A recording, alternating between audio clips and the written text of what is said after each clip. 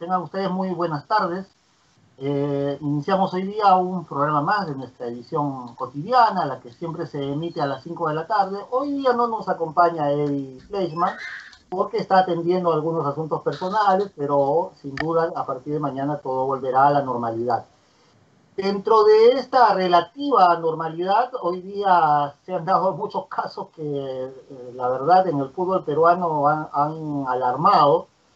Eh, hay, una, hay un problema sanitario que es severo y que no se dio en la primera ola y que ahora estamos padeciendo. Primero fue Ayacucho, que tuvo alrededor de ocho eh, contagiados de COVID y cuyo partido contra Melgar se suspendió y los rumores acerca de una extensa ola epidémica en universitario, pues hoy día se han confirmado y el partido ante UTC también ha sido suspendido por la organización de la Liga 1. Así es que, bueno, vamos a analizar eso, entre otras cosas. Creo que ha sido la noticia principal de la, del día. Eh, y ahora voy a dar pase a mis compañeros para que puedan dar sus opiniones respecto a esto y otros temas más que serán materia de debate. Carlos Esquivel, ¿cómo estás? Muy buenas tardes, un abrazo para ti. ¿Qué tal, Carlos? ¿Qué tal a Valeria, a Eitan, a todos los seguidores de Full Deporte por Deport? La verdad es que se ve bastante complicado el panorama universitario para mí es algo raro que tantos jugadores se hayan complicado con el tema del, coronavirus y el virus de la pandemia, inclusive Chiquitín Quinteros, allá en la concentración de Panamá, no sé qué clase de pruebas estarán pasando, si sean rápidas, antígenas o, sea una prueba molecular, pero lo cierto es que el problema me parece que hay que investigar bien si es que se están cuidando los protocolos eh, universitarios de deportes Ojalá que sí. Y por otro lado, también hay que mencionar que hoy día este, ya el profesor Bustos está entrenando con cara a ser protagonista en la Liga 1 con Jefferson Farfán, que se está sumando de a pocos, ¿ok? Todavía no, creo que no va a jugar el primer partido, ni siquiera 10, 20 minutos, pero se está sumando y hay refuerzos que están sonando. Al igual que Cristal se está entrenando, pero con miras a la Copa Libertadores, ahora le vamos a estar comentando algunos detalles. Ok, vamos a dar saludo a, Valeria Sánchez. Valeria, ¿cómo estás? Eh, bueno, me imagino que tú que ves un poco más de cerca la cancha que nosotros, y muchas veces corres la cancha, eh, ¿tendrás alguna idea de cuál es el, peligro real o, no tanto de que se suspenda la Liga 1? ¿Crees que eso es posible? Tenemos dos clubes en problemas y sus partidos suspendidos. ¿Cómo ves tú el panorama en, estos, eh, en estas horas y el día de hoy sobre todo? Así es, Carlos, un saludo para ti, para Eitan, para Carlos Esquivel también y para los que nos ven a través de Full Deporte y de Depor. En realidad, sí, ¿no? Creo que tanto, si bien es cierto que el fútbol se inició ya desde el año pasado, pues no con todo este tema de, en medio de la pandemia, en medio de una segunda ola, lo que está pasando con Universitario es bastante preocupante, ¿no? Sobre todo por la información que da el mismo club en cuanto al, al, al tema de salud que tienen tanto sus jugadores como sus trabajadores, porque hay de, los dos, de las dos partes que están contagiadas. Supongo que o, hubiese sido lo correcto suspender esta fecha porque por ahí también pueden haber resultados de las pruebas eh, falsos negativos, eh, otros también pueden ser falsos positivos, así que yo creo que por un tema de precaución se debía cancelar toda esta fecha, ¿no? Pero de hecho que también la liga debe de continuar Ojalá no pase a mayores para que todo siga, pues, no como, como lo hemos tenido, lo, hemos venido teniendo desde el 2020, pero la cosa también es tener un control, tanto por los jugadores y los trabajadores, para que no ocurran esos temas, pues, no, de que los jugadores fueron ampallados, que salieron, que rompieron protocolos y un montón de cosas más. El riesgo está, así que hay que cuidarnos todos, así que eh, para adelante nada más y controlar cada, pues, no, cada actividad de los jugadores. Sí, bueno, eh, me imagino que todos habrán escuchado a, Comiso que día de unas declaraciones en las cuales dijo que tenía 14 jugadores contagiados, pero más allá de eso, de alguna manera, entre comillas, le tiró dedo también a Melgar y dijo que Melgar también tiene problemas de, contagios. ¿Tú has escuchado algo de eso, Eitan, o es, eh, una, es parte, digamos, del, del alarmismo que, Comiso ha, sembrado hoy día y que ha involucrado por eso a otros equipos más para no decir solamente somos nosotros. Hola Carlos, ¿qué tal? Un saludo para ti Esquivel, Valeria y todos los que nos están siguiendo. Eh, sí, escuché hoy día Comiso declarar sobre la situación eh, preocupante del club. Dijo que, bueno, declaró antes de la decisión de que se suspenda el partido, ¿no? Evidentemente dijo, pidió que se suspenda el partido, dijo que no deberían jugar, que solamente tienen un arquero disponible en, en la plantilla para poder competir. Mencionó lo de los 14 infectados y también mencionó el caso de Aldo, Corso, que dijo que están investigando el tema, que el comando técnico sí, digamos, tiene pensado tomar unas, sancionar, obviamente, por la irresponsabilidad que, que fue, pero que todavía están investigando y quieren escuchar también la versión de Aldo Corso, no solamente lo que salió, digamos, en, en televisión público. Pero antes de comentar lo de comiso y lo demás de universitario, les tengo que contar eh, una cosita sobre Renusa y Bardal. Ajá. Así es. Eh, Bardal es el lubricante con el mejor aceite y el mejor aditivo que alarga la vida de tu motor. Bardal permite que soporte altas temperaturas, cuida las superficies y extiende la vida útil de tu motor. Ya sea liviano o pesado, usa en tu vehículo aceites y aditivos Bardal, hechos en Estados Unidos y distribuidos en Perú por Renusa, el experto automotriz. Así que ya sabes, Esquivel, use ese lubricante pues para la próxima. Ok, gracias por el, por el consejo, Eitan. Y, bueno, este, retomando lo que es el fútbol, eh, yo creo que no hay mal que por bien no venga, ¿no? Es decir, eh, esto que está pasando con Universitario de Deportes puede ser un momento para darle la pausa que está requiriendo Universitario de Deportes y replantear muchas cosas, como el estilo de juego que tiene Comiso, que es una mentira lo que dijo él. Eso de que él quiere tener la posesión, de que quiere jugar, es falso. Él siempre le ha gustado jugar un juego simple, directo, metiendo él las faltas, cortando él, y, y le ha resultado. Yo no sé por qué él no lo admite y, vuelve a sus fuentes, que es un juego directo con bastante marca y parándose bien para defender. Si lo hace, con lo que tiene, me parece que va a poder ser competitivo en la Liga 1 y va a dejar de dar estos papelones, porque la gente de verdad, los hinchas de la U, lo quieren ya fuera, pero puede ser que aproveche esta coyuntura para darle la vuelta y replantear el, al plantel. No sé cómo lo ven ustedes, pero a mí me parece que puede ser un momento como para darle un segundo aire el, problema, el problema, Carlos, Valeria, Eitan, es que no puede replantear mucho si tiene 14 infectados y hoy día ni siquiera han podido entrenar.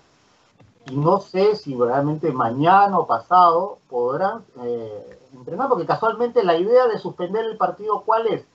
Que la U, más allá de que no dispute el partido oficial, tampoco tenga mayor actividad, porque esa actividad puede generar un mayor número de contagios. Si hay 14 y el plantel son 29, es evidente que si, si hay un descuido puede llegar a extenderse a toda la plantilla. No, y la idea de que si estás contagiado te, tienes que aislar, pues, ¿no? De los demás, para no contagiar a otros.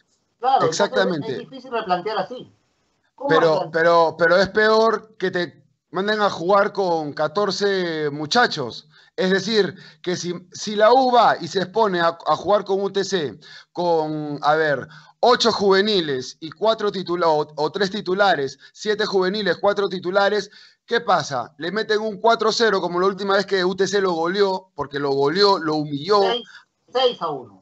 6 a 1, o sea, te, no te expones a eso, puedes volver otra vez con tus titulares, ok, se recuperan, ok, no van a poder entrenar, pero vuelves con los titulares y replanteas la forma de jugar, aunque sea, yo, yo pienso que la U tiene que salvar de, una mala presentación acá en la Liga 1 y defender bien.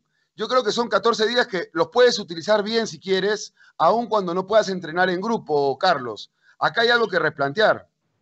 Sí, claro, hay muchas cosas que replantear. Eh, yo diría que casi todas. Pero también tienen que ir con pies de plomo porque tal y como van las cosas van a llegar con las justas, con uno o dos partidos, digamos, previos a la Copa Libertadores. Y esto es no, y eso que para la próxima fecha no sabes todavía si vas a recuperar esos 14, ¿no? En su totalidad. No, no, puede, que recuperes algunos, porque no es que todos empezaron ayer. Eh, claro. Con el virus. Algunos ya deben tener días. A Quintero, por ejemplo, ha llegado a Panamá y apenas le han hecho la prueba han detectado que tiene COVID. No, no sé si así ha empezado recién. Aparentemente tiene cuatro días o cinco días de infectado. Entonces lo han aislado y no va a ser parte de la selección panameña que tenía que disputar un, partido por las clasificatorias de, de CONCACAF. Dos partidos. Entonces, eh, no todos parten de la misma, hay unos que van a volver antes, otros después, pero el equipo, el 11 base, el 11 base, digamos, de la U, no va, no va a estar listo, creo, de aquí a dos semanas como mínimo.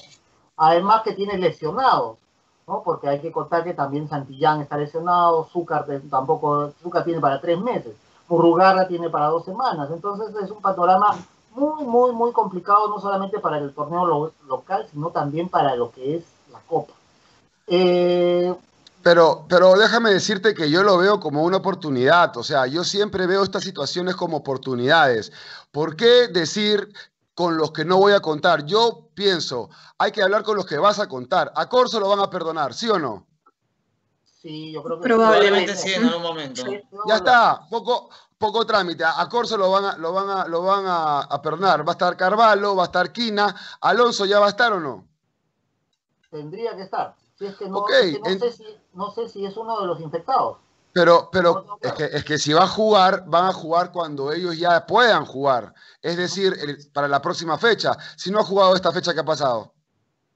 Claro. O sea, tu punto, Esquivel, es que para el momento en que puedan jugar van a recuperar a todos. eso te refieres? Van a recuperar a una buena base como Novik, como Alonso. A ver, vamos a ver, eh, lo va a recuperar seguramente a, a Carvalho, a Corso van a seguir, Quina va a seguir. A Soto le tienes que dar la, a ver, la tranquilidad de que va a ser el reemplazante de Santillán por mientras. Y vamos a ver qué cosas hace en la media cancha. Alfa Geme con quién va, pero que, que defiendan mejor, que defiendan mejor los jugadores. Urruti va a volver y a los muchachos, por ejemplo, a Carpio, que es un 10, un enganche que ha salido de nuevo y que a mí me gustó cómo jugó. ¿Por qué no darle la, alternativa a él de que sea un titular?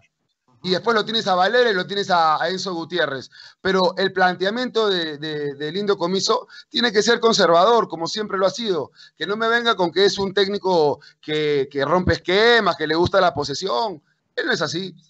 Para, para que lo digas tú, hablando de Comiso, debe ser, debe ser que no está diciendo la verdad completa. ¿no? Eso, en eso te doy toda la razón en esta, en esta ocasión. En cuanto al tema de Corso, lo que tengo entendido es que si bien la falta ha sido considerada como grave, porque es un problema de falta de solidaridad con sus compañeros, tiene un atenuante al respecto y es que él ya tuvo COVID. Entonces, eh, el que ya tuvo COVID es muy difícil que te pueda contagiar, ¿no? Claro, eso no significa que te vas a saltar por encima de los protocolos, pero lo que tengo entendido es que va a haber una sanción económica y que va a haber una, va a estar ausente unos días del entrenamiento, pero con la necesidad que tiene la U en este momento de recuperar a su equipo base, tampoco van a ser demasiados días. Sí va a haber una sanción que va a ser económica, pero no va a pasar de eso y bueno, yo lo encuentro entendible, sobre todo dadas las circunstancias en las que está universitario. A ver, eh, pasando a otro, a otro tema, eh, en Alianza se habla de la llegada de un delantero ecuatoriano, ¿verdad? Que viene de la MLS. ¿Ustedes han visto algo de eso o no? Yo la verdad no, no, no había escuchado. ¿Es, ¿Viene de Estados Unidos? Sí, viene del eh, Whitecaps, eh, Vancouver Whitecaps. Sí, Vancouver Whitecaps, sí, sí. Whitecaps. Estoy hablando en inglés como Tongo. Sí, Whitecaps. Este, el, equipo de Jordi. ¿Cómo? El equipo de Jordi. Sí, sí. Es un delantero que ha tenido sus buenos momentos hace un par de años, en los que marcó 12 tantos, pero en la última temporada no ha anotado goles, pese a que sí ha jugado. Eh, creo que para lo que tiene en este momento Alianza, un refuerzo extranjero siempre es importante. Y ayer estábamos comentando, estábamos comentando de la posible llegada de eh, en junio de Achillier. Achillier se, ha roto la nariz, ¿no? Tiene para dos meses de para en el Orense. Lo han operado, inclusive va a estar dos meses parado. Con lo cual, eh, dos meses parado, estamos hablando más o menos de mayo. Eh, si llegara en junio, que termina el préstamo con Orense, tampoco no es que va a llegar al 100, 100%. Pero entiendo que solamente le queda entonces Alianza. ¿Qué novedades hay de Alianza, Valeria?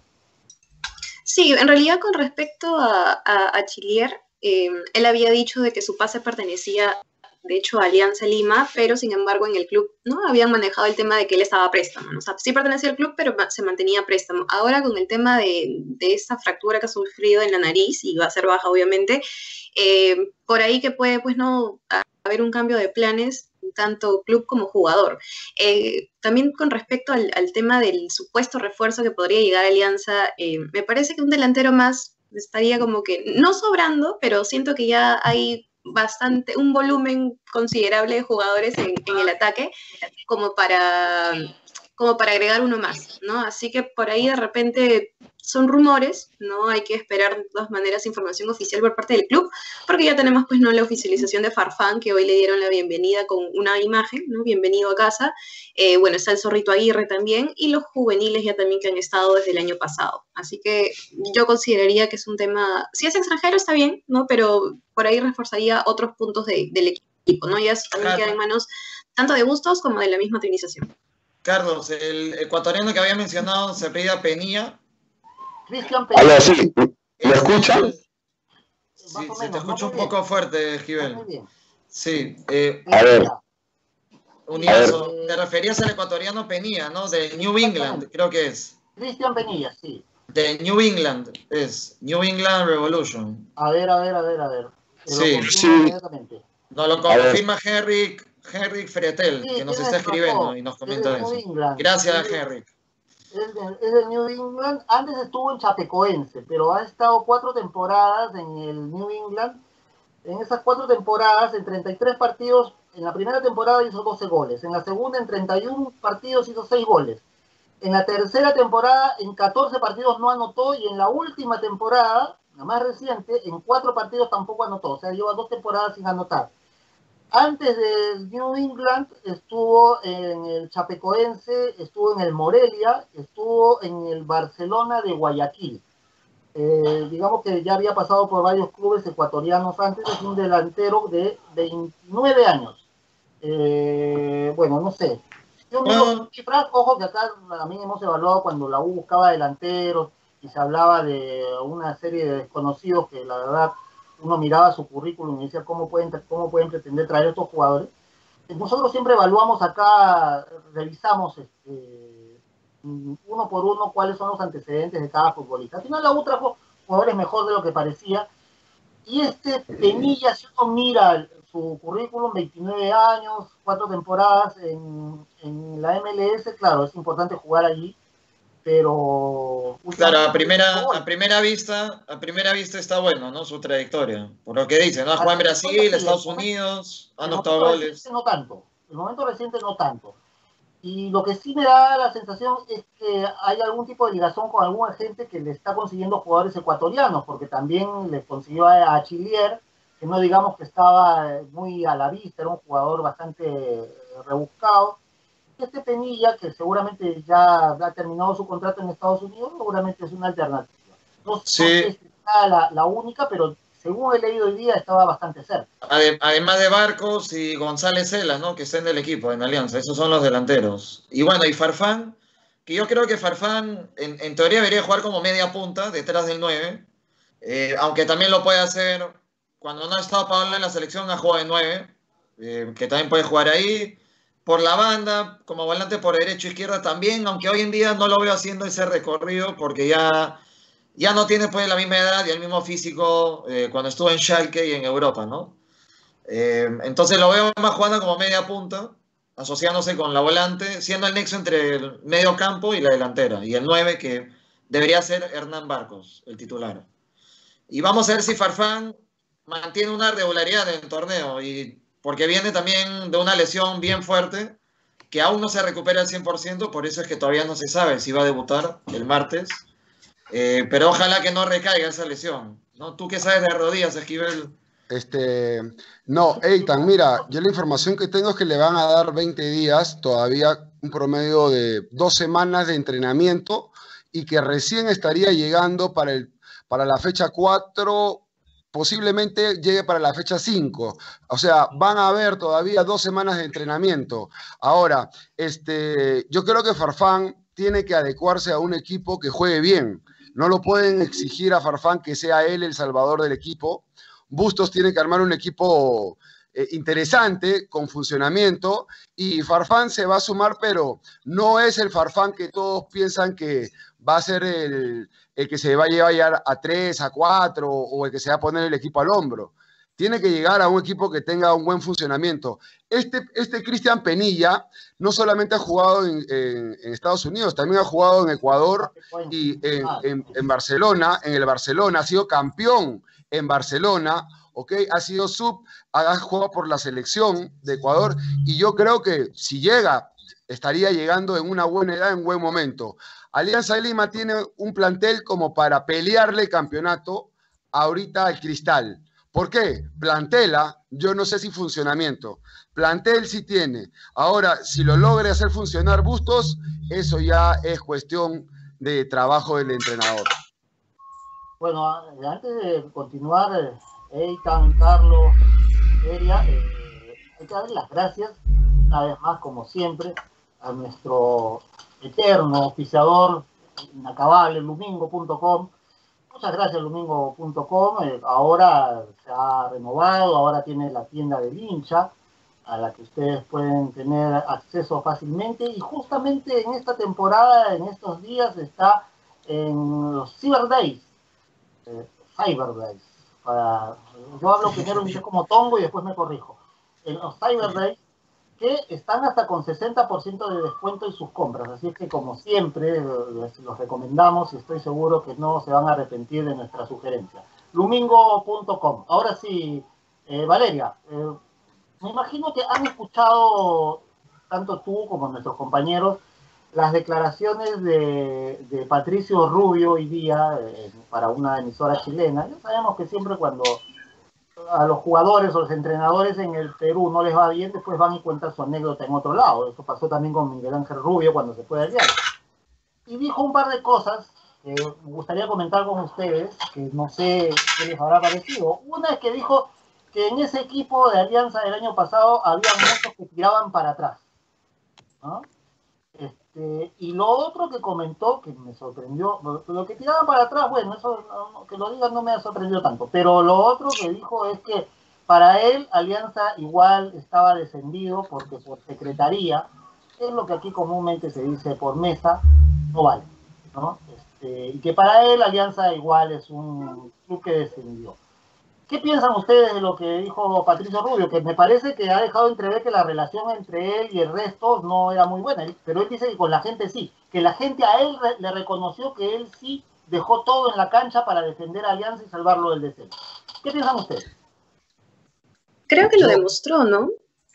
Creo, Carlos, un ratito, creo que lo demostró porque, bueno, si bien eh, Rubio llega mitad de, año para adelante, cuando bueno, sale también todo este boom de, con, el, con el tema de Mario Salas, eh, creo que lo que ha contado de Alianza no es nada del otro mundo, ¿no? Lo de Alianza el año pasado fue la verdad bastante lamentable, tanto en el campo como en, en, la interna, y lo vimos reflejado también con este descenso, ¿no? Por ahí que se salvó, bueno, se salvó oficialmente del tema del descenso, pero creo que esto va a quedar ya siempre no grabado para los hinchas rivales, que son los de la U, de Cristal, que van a siempre sacarle en cara, creo, los hinchas de Alianza. Si Patricio, si Patricio Rubio no ha, hablado acerca de lo que sucedió en Alianza, creo que, bueno, está en todo su derecho, ¿no? Pero de ahí estar hablando otras cosas o hablando de más, considero de que lo puede tomar como tal, ¿no? Así que considero de que es parte de, ¿no? También de repente dar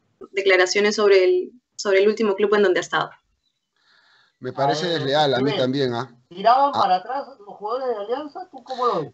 Mira, eso de ahí, eso de ahí no tenía por qué decirlo, aunque lo puedo decir yo. Yo como, a ver, alguien que critica un periodista, lo puedes decir tú, pero yo si, por ejemplo, salgo y cuento cosas de la interna, porque eso es contar una debilidad de la interna, eh, me parece que estaba además, decir que lo dio todo, es lo justo.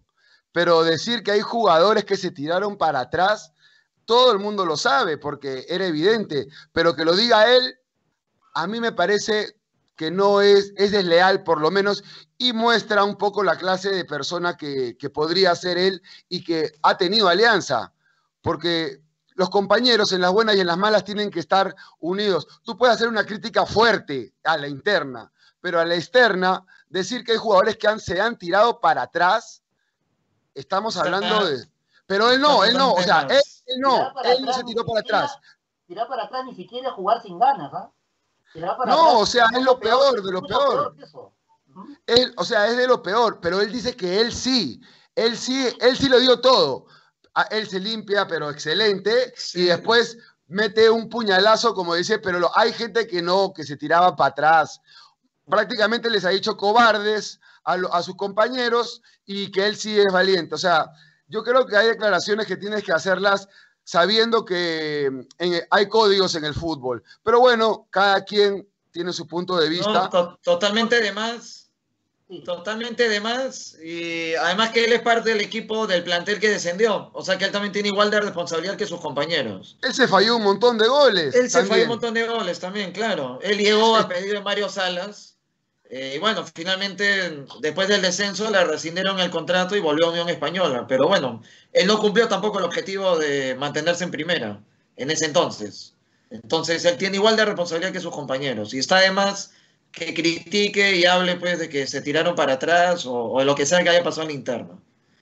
Pero bueno, ya se fue, no hay que hablar de él. Una pregunta rapidita para todos. ¿Por qué en el fútbol tiene que haber códigos? Yo no ¿Por qué? yo no escucho que en el básquet haya códigos. O sea, ah, bueno, pero ¿quién habla de básquet? Códigos yo lo asocio con, con, con, las penitenciarías. Los, Mira. Los, que están en las penitenciarías dicen los códigos, los códigos socios. Pero, ¿por qué en el fútbol hay, hay, este tipo de cosas? Bueno, yo te lo digo a mi forma de ver, es porque este es un grupo de equipos que se forman y se, se, arman y se desarman, y los jugadores, si no eres leal, no vas a llegar a otro grupo, a la una interna bien. ¿Cómo tú vas a confiar en una interna que conviven, convivir es bastante, ¿ah? no es solamente, a veces este, concentran juntos, se cuentan cosas, suceden cosas, si sabes que hay alguien que es hablador, por no decir otra palabra.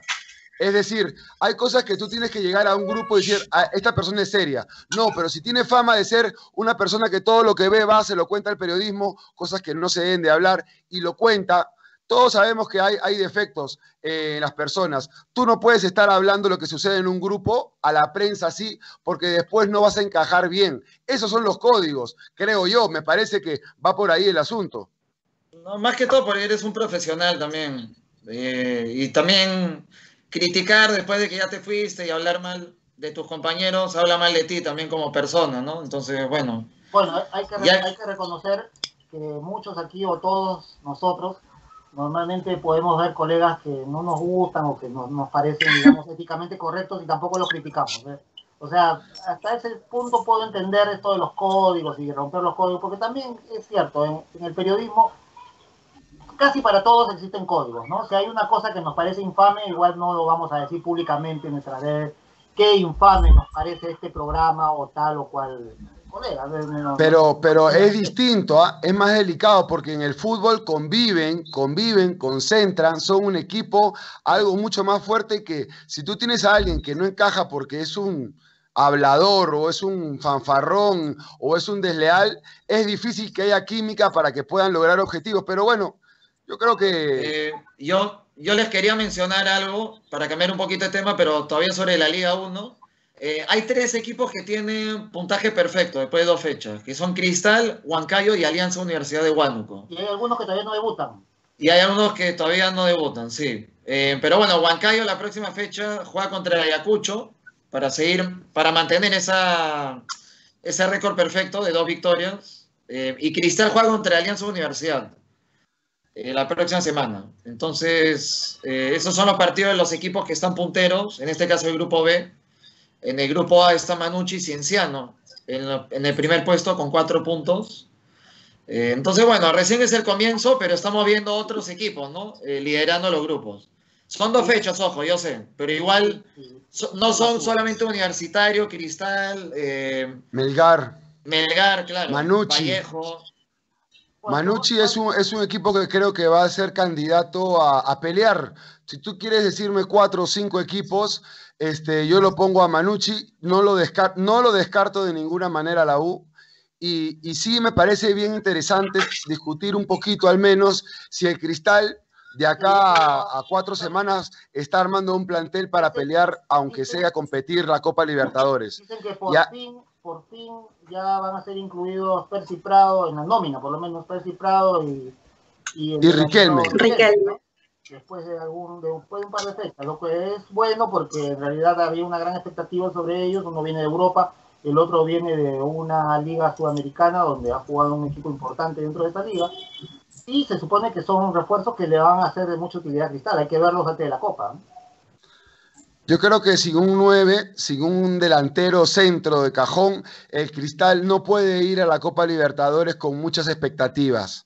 Siendo sinceros, el partido combinacional es un engaño eh, y el partido contra el Boys, que lo apretó un poco, es una muestra de que cuando lo apretan a Cristal le cuesta bastante porque no pueden manejar el balón y eso es lo que va a pasar, pero más, más en la Libertadores. El 9, Lisa se vio verde en contra el Boys. Yo creo que lo necesitan a Riquelme y de verdad. Pero Lisa ha tenido antes buenos partidos, inclusive en la temporada pasada alternó algunas veces, no lo hizo mal. En este estuvo flojo, pero no lo descartaría del todo como posibilidad a Lisa. Y sí creo que así como el partido inicial con Binacional fue engañoso, porque Binacional es un candidato serio a descender, por cierto, no hemos comentado que despidieron al técnico, ¿no? Pero bueno, eso lo hablaremos después.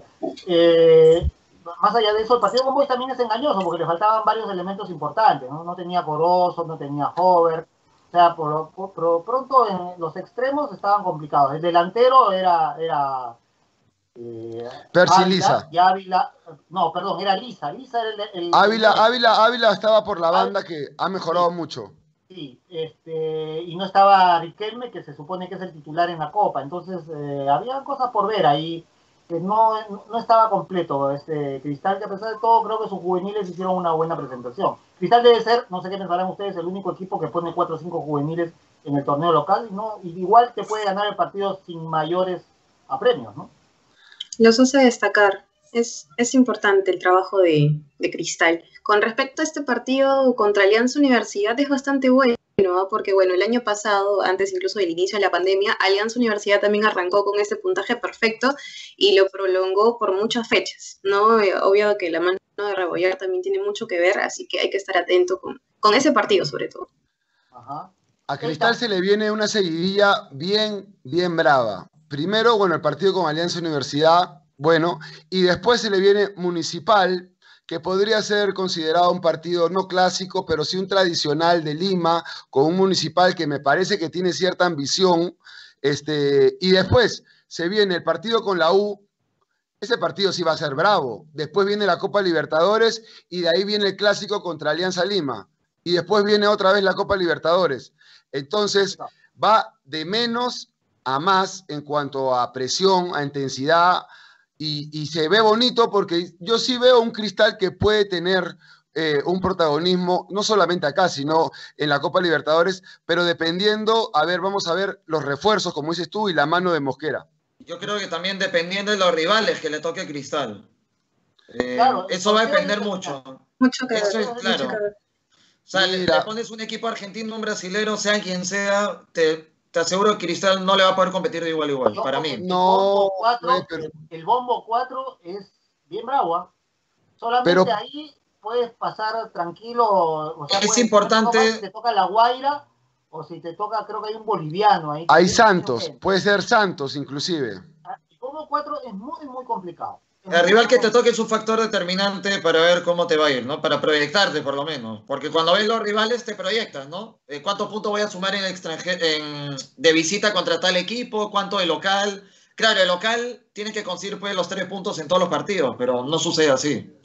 Entonces vas calculando, ¿no? Y te ya, pero me vas a decir que Cristal, bien armado, no le puede competir como alguna vez le ganó a Racing.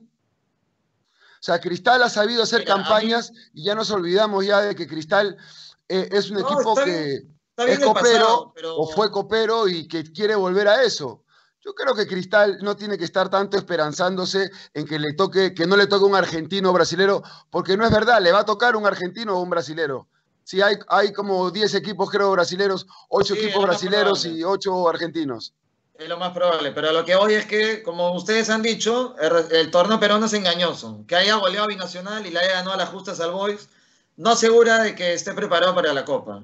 Y también el plantel que tiene. Hemos hablado en medio campo de que Tábara y Calcaterra juntos no alcanzan. Eh, hay muy poca movilidad, son bastante lentos, hay poca marca ahí también. Y eso en la Copa Libertadores no, no puedes dejar espacios ahí, porque no te perdonan. Por mencionar un ejemplo, ¿no? De los fallos que tiene Cristal. Me refiero el muchacho Castillo, muy interesante. Castillo. Gilmar Lora, también muy interesante. Yo creo que hay jugadores, hay un jugador Soto, increíble. Hay un Soto en la U y hay un Soto en el Cristal. Este, por banda izquierda. Tiene jugadores que han entrado bien, aparte de Percy Lisa, aparte de Tábara, vamos a ver si da la talla, porque mira, se hablaba de que quería irse a Brasil la Copa América se viene. Vamos a ver si Tábara realmente es un jugador de jerarquía acá, en estos partidos. Y si Corozo realmente es tan bueno como por ahí quisieron decir que lo pretendía el PCB. Vamos a ver, son, son partidos que a mí me gustan y que quisiera que lo haga bien el Cristal realmente. Me parece que puede hacerlo. Bueno, eh, si me permiten, les quiero contar sobre una promoción que tiene Deport para ustedes, para todo el público que nos está viendo. Eh, Deport tiene una super promoción hasta el sábado 27. Por la compra de tu Deport, ¿no? el periódico físico, reclama tu raspadita, raspa, juega, y si te tocan tres en línea, te llevas uno de los premios que hay disponibles, que son dos scooters eléctricos, una laptop y tres relojes inteligentes. Así que raspa y gana. Yo toda la semana he comprado mi periódico, hasta ahora no me toca nada, pero bueno, espero que usted tenga mejor suerte que yo. La paciencia siempre es buena consejera. Así, no, por eso, todos los días tu, tu diario Depor, raspas y si te toca, felicidades. Nos mandas una comisión después a, a Wow, a ver esa portada, a ver esa portada. Ay, mamita linda, ¿qué tal portada? ¿Qué tal portada la que hace? Pero, pero, ¿qué te sorprende si tú la tienes pegada a tu cuarto? Y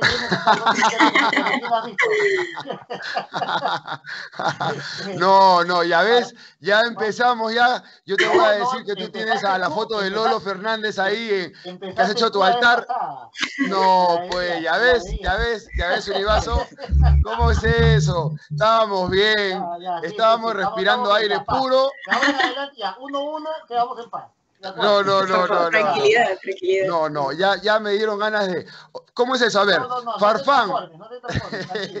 Farfán lo va a traer a. Para que esto se disipe un poco porque se ha enrarecido un poco el aire. Para terminar con el tema local muy rápidamente, ayer me olvidé de comentarlo, en el programa nos olvidamos de mencionarlo, despidieron al técnico de, de Binacional, A, a Luis Flores, y lo despiden en la segunda fecha. Pero ojo, no es récord, porque el año pasado en Yacuabamba, claro. fecha, también decidieron a un técnico, pero antes ya habían despedido a tres, a tres en el, en, durante la etapa de preparación. Habían traído un costarricense, habían contratado a Cortijo, se fue Cortijo, después no me acuerdo quién llegó, después llegó Clausen, a Clausen también lo votaron. Este, esto es una moda que algunos clubes sobre todo imponen, ¿no? que son normalmente los clubes que provienen son los clubes, digamos, o recién ascendidos o con costumbre del Club de Copa Perú, ¿no? Y en Binacional ahí eh, sacan entrenadores como conejos del sombrero y dicen ya este se va, regresa y viene este otro para acá. Increíble. ¿Qué piensan ustedes? Pero, pero ya se veía venir. Binacional es un equipo demasiado informal que ha recibido, a ver, veintitantos goles en la Copa Libertadores y ahora en dos partidos le han metido siete. No, cuatro y tres, siete. Siete. goles en dos partidos. Pobre el señor este, Fernández, ¿cómo, este, ¿cómo se sentirá? Es decir, un arquero que le paran metiendo de a cuatro. Dios mío. el pobre Raúl Fernández se iba a retirar el año pasado, pero como fue tan mala la campaña, dijo, no importa, me retiro el próximo. Pero así como va, va a jugar un año más. Yo creo que el 2022 lo vemos de todas maneras porque este año creo que va a ser peor que el anterior para Binacional, no es culpa de Fernández. Ahora yo... gran arquero, pero está un equipo que no le ofrece garantías ni dentro de lo futbolístico, ni dentro de lo institucional, nada. Ahí está. Sí, yo quería mencionar eh, que aún no, no, se ha confirmado, la federación no lo ha confirmado, pero parece que van a extender 30 días más el cierre del mercado de pases, ¿no? Que en teoría cierre... Para Stein. Y para, Alianza. Y Alianza. Para Stein y para Alianza, sí. Sí, entonces extenderían 30 días más eh, para que, bueno, puedan fichar, eh, para que no se les cierre el mercado este viernes. que en realidad, si es que se confirma, no me parece una buena decisión de la federación porque sí, es verdad que Alianza, bueno, la semana pasada se enteró de que, o esta semana se enteró de que iba a jugar en la Liga 1, pero tiene que ser igual con, todos, ¿no? ¿Por qué solamente Alianza y Stein van a poder fichar hasta el 30 ¿Cómo que por qué? Si Alianza se ha visto. A ver, se supone que el fallo del TAS lo que quiere decir es que Alianza se ha visto afectado. ¿Ok? Entonces, parte de, ese, de, esa repercusión que ha tenido negativa es que no se ha podido armar para primera división como corresponde. Entonces, darle plazo a Alianza para que pueda contratar, ¿no? Es lo justo. Dentro, de los reglamentos tienen que ser igual para todos. No, no, para pero todos los que, participan en la Liga 1. Pero es que Eitan, Eitan, y el fallo del TAS. Es que estás cambiando las bases de nuevo. Pero es que no, son, no es cambiar las bases. Eh, está siendo consecuente con, con, el cambio que has hecho tú en el torneo peruano de ponerlo Alianza y sacarlo Stein en base al fallo del TAS. Pero bueno, yo creo que. punto de vista. Yo solamente he visto eso una vez eh, fue en Brasil y fue a raíz de una tragedia, que fue cuando se cayó el avión de Chapecoense. Entonces le, dieron un mes más que al resto para que puedan armar su plantel. No sé si este sea el mismo caso, creo que no lo es. Eh, me parece que puede ser excesivo, pero bueno, en todo caso, vamos a ver, tampoco es que haya muchos jugadores en el mercado. O sea, si Alianza está pensando contratar, lo más probable es que tenga que echar mano de los jugadores de... Bueno, le quedan listos para ser contratados. Para eso se les ha dado. No, pero el extranjero. Le quedan dos cupos para fichar extranjeros.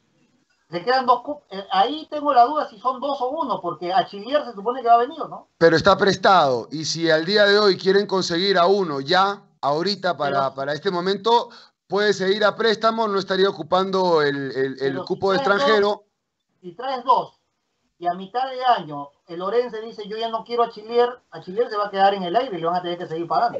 Mira, yo creo que si Orense, Orense, ese club que lo han cedido a préstamo, no lo ha cedido antes, es porque lo tenían en consideración. Pero bueno, de todas maneras, va a ver si se refuerza seguramente con algún jugador de Stein, como Ángelo Campos, que ya está listo para firmar por Alianza. Eh, y después, eh, este jugador de Ecuador, hay un brasilero, ¿ah? Hay un jugador brasilero también que va a ser posiblemente un fichaje para Alianza Lima.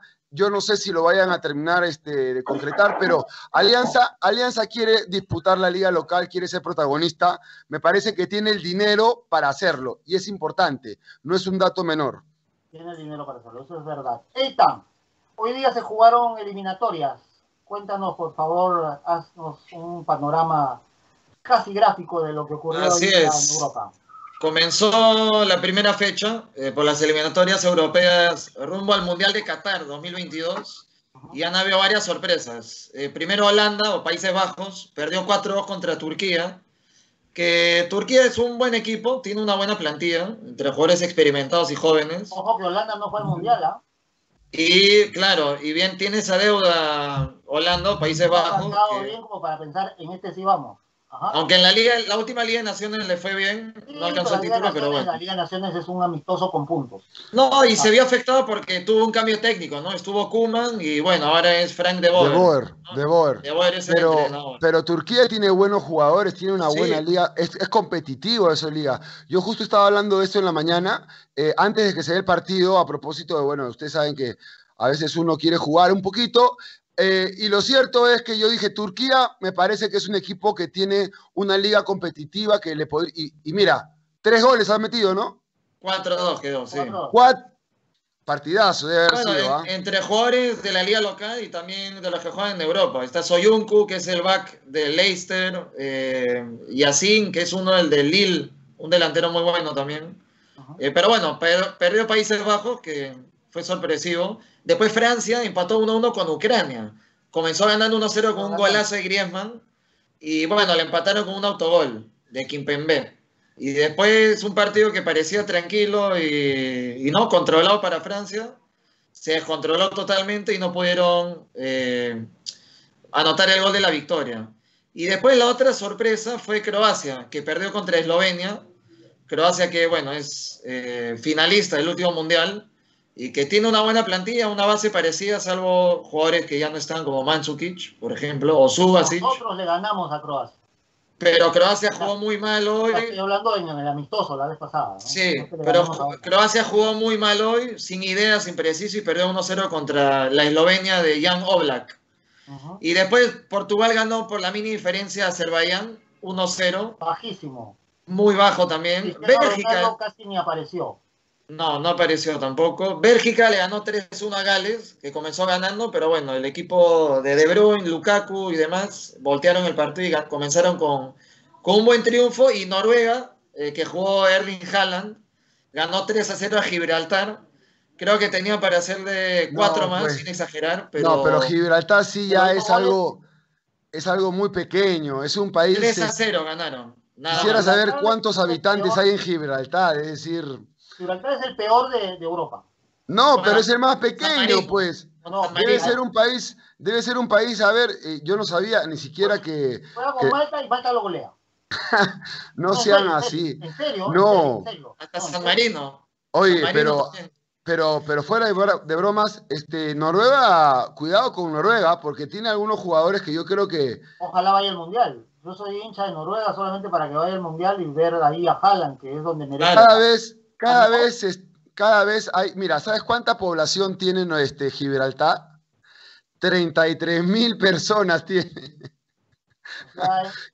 Deben haber, deben haber 200 personas que les gusta el fútbol. ahí.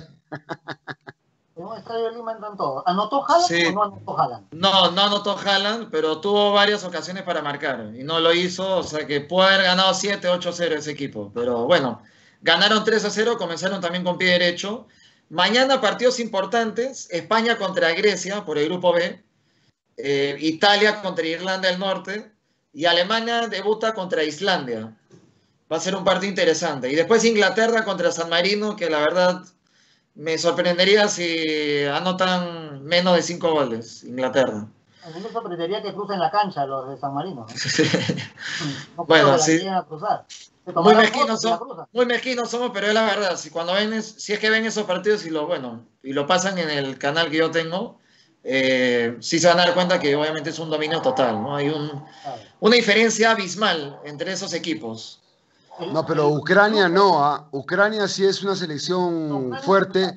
Gales también presenta Francia tenía que cierta... haber gol. Perdón, pero hoy día el primer tiempo tenía que haber anotado dos o tres goles a Ucrania. Ucrania, de las figuras que hoy día presentó en cancha y que la mayoría de ustedes conocen, es Sinchenko, que es el lateral de City, y Malinovsky, el de Atalanta. Más que eso, los demás son de la liga local. Que no digo que son malos, porque Dinamo Kiev, Shakhtar son buenos equipos y compiten, ¿no? Exactamente, exactamente, eso es lo que yo digo. Hay muchos que piensan que Europa del Este o que solamente está en las ligas top, las cinco, pero juegan, ¿ah? En Europa juegan y tienen mucho, mucho rigor. Yo creo que están saliendo nuevos países con, con- con mejor nivel cada vez más. Vamos a ver unas ligas más. A ver, vamos a ver, por ejemplo, si se les hace tan fácil clasificar ahora a las mismas potencias como Alemania, Francia. Holanda se quedó fuera del Mundial la vez pasada. eh, nos faltó precisar que en el partido de Portugal que gana 1 a 0 con Azerbaiyán fue con un autogol inclusive, ¿no? Con un autogol, pero el arquero, pues, este... El arquero alternaba. Mira, yo salía, y, la- yo salía y le embolsaba así. El arquero no sé por qué saltó y bueno, le dio al defensa y... Y fue el show del partido porque dos veces estuvo a punto de ser cambiado. Fue, fue todo Sí. Va- Valeria vio el autogol y dijo, no puedo creer, pucha, hasta, hasta iba a la tapada todos. Eh, el- Me da risa la descripción, la descripción de Ethan. Hay- hay- no, hubo un comentario, hubo un comentario, el, el que narraba el partido o el comentarista, no me acuerdo, hizo un comentario que me pareció muy gracioso. Dijo, eh, en, este, par- en este partido me, me recuerda la, la representación de la lucha del hombre contra la naturaleza. No la puede dominar. Porque se refería a los jugadores de Azerbaiyán que no podían parar una pelota y aún así solamente perdieron 1 a 0. Es una llamada de atención fuerte para Portugal. Yo creo que Portugal, si repite esto, va a tener problemas para clasificar. ¿Qué? ¿Tan, uno, tan exagerado, tan exagerado de verdad? Sí, ¿No podían sí. parar una pelota? No podían parar una pelota. No podían, Pero ustedes- la cancha de ellos. Estos, estos resultados, digamos, por más que sí, Portugal ganó, bueno, Francia empató, eh, ¿es un problema, digamos, de los entrenadores, o sea, del sistema, o es también la seguidilla de partidos que afecta a los jugadores, ¿no? Jugar tantos partidos seguidos, viajes, eh, ¿no? Etcétera. Y Entonces, estos partidos se guardan un poco también porque creen que caminando les van a ganar al rival. Yo creo que eso pasó hoy día, porque muy por debajo de lo esperado Bueno. Fue el partido que más vi, ¿no? Tú viste el partido de Portugal. Yo vi el de Francia hoy día. Yo vi un rato vi que estaba ganando y dije, ¿para qué sigo viendo? Esto va a ser 4-0. Dije, me regresé al de Portugal. Es que sí, Portugal el primer tiempo daba para eso. se, se demoró en hacer el gol. E hizo- a los 33 fue el gol. Entonces estaba más entretenido ese partido que el otro. Aunque después, bueno, lo empató. El que, el que sí va, va a jugar hoy día parece ser que es Zambrano, ¿ah? Ah, disculpe que cambie tan, tan- como ya estamos... No, está bien. Entonces. ¿ya vamos a ir con las últimas? No, falta, Vamos. eh, antes de eso, una rápida Sí. opinión, comentario. Barcelona, mejor equipo de la década. Ah, verdad. el Instituto de Ah, bueno, ese sí es un buen tema, porque sí está, está discutible, pero está entendible también, porque la mejor versión del fútbol moderno se vio con Guardiola. A ver si tú me puedes ayudar, Eitan. Año 2008 llega Guardiola. Sí, en, en realidad en la década anterior también había sido elegido Barcelona como mejor Sí, equipo, pero es que ha tenido desde Guardiola hasta el año 2015, eh, era el mejor equipo del mundo y ¿quién te iba a dudar? O sea, solamente ganó una vez el, eh, el Real Madrid y después por ahí el Bayern una vez, otra vez el Chelsea, pero el predominio futbolístico era Barcelona. Era el, el mundo perfecto, era el Barcelona de Ronaldinho de los años 2000 a 2010 y después el mundo de Messi. Pero de- hace tres años la decadencia de Barcelona que te hace dudar un poco, pero ¿quién puede decir que no? Barcelona se merece esto por lo hecho en los primeros cinco o seis años.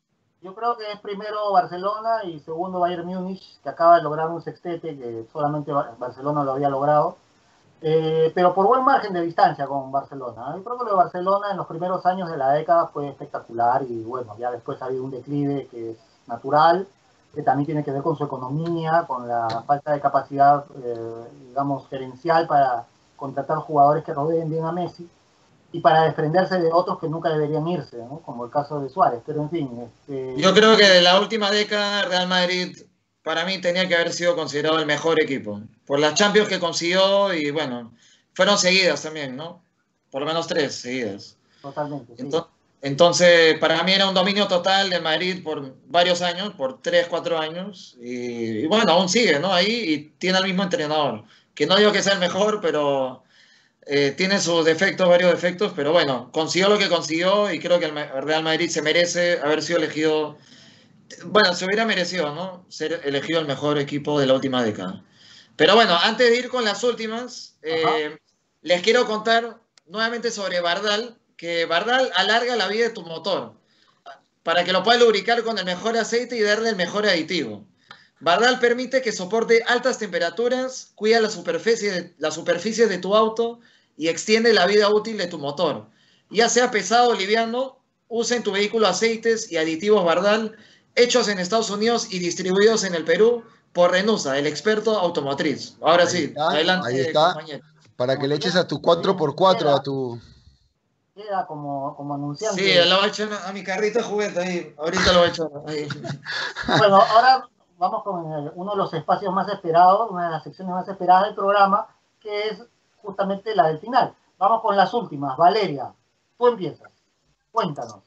Sí, mejor, mejor. No, bueno, en realidad, justo ahorita, en pleno programa, también se están dando las, el balance de cómo va avanzando la pandemia en nuestro país y la, el, el índice, bueno, obviamente señala que estos contagios masivos, no solamente en el fútbol peruano, sino también en todo el país, eh, se debe a esta nueva variante, es por eso que se es más agresivo. Y a propósito de eso, en Melgar se estaría llegando ya a nueve contagiados, obviamente hay que esperar el comunicado oficial por parte de Melgar, Dijo la verdad esta vez.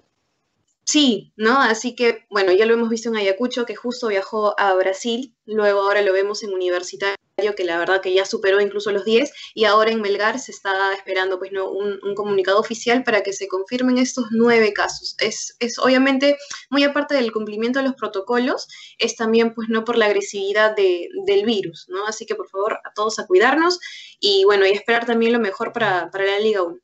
Ajá, correcto, ¿ven? Hincha de la U. Eh, Comiso dijo, dijo la verdad. Eh, Ya saben, Comiso nunca le falla, ¿eh? siempre anda con la verdad. la mano. No, no va a inventarse, no va a inventarse un tema, Para que dé tu última. no va a inventarse una cosa así, ¿no? Pero, pero Ya. mi última, ya que me dices, es que Zambrano está confirmado, va a jugar con la número 5 de titular. Hay muchos que, no lo quieren a Zambrano, hay que decirlo. Hay mucha gente que no lo quiere a Zambrano, que le, gusta, le gusta verlo rebalar para darle duro, pero bueno, yo creo que es un, es un jugador que en Boca Juniors, si lo ponen, es por algo. El otro día no jugó, perdió Boca. Ahora seguramente que... Está en la nómina, pero, pero es Copa Argentina, ¿no? No, pero están poniendo, están poniendo como quien dice los titulares. Lo están poniendo, lo están poniendo a él porque a, Zambrano siempre lo ponen en Copa Argentina o en la Liga Argentina. La Copa Libertadores todavía no sé quién va a ser. El otro día entró, el otro día entró Rojo y jugó. Eh, ¿Viste la cachetada que le metió el Fabra a Izquierdos?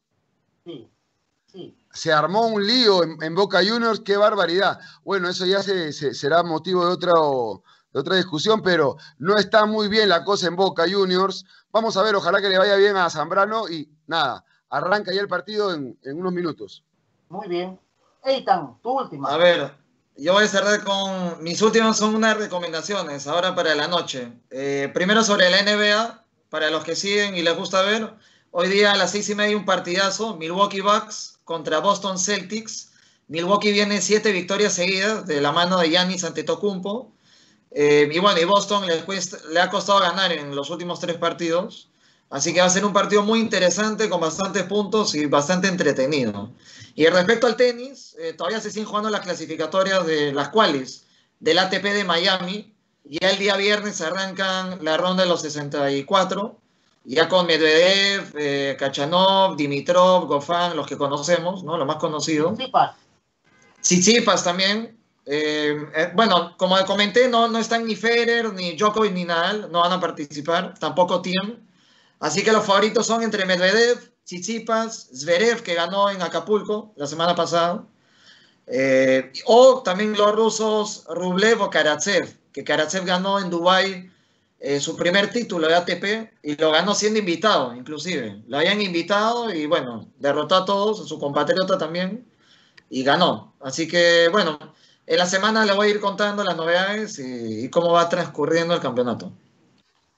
Bien, eh, no hay nada más que agregar, creo que ya podemos cerrar el programa agradeciéndole a toda la gente que nos ha acompañado el día de hoy, recordándoles que mañana a las 5 estaremos ya con Eddie Fleischmann y haciendo mi descargo por mi parte de que yo no doy la última el día de hoy, porque el que conduce nunca da la última. Así es que será con todos hasta mañana a las 5. Es que no, tienes que decir, ya no tienes que decir nada.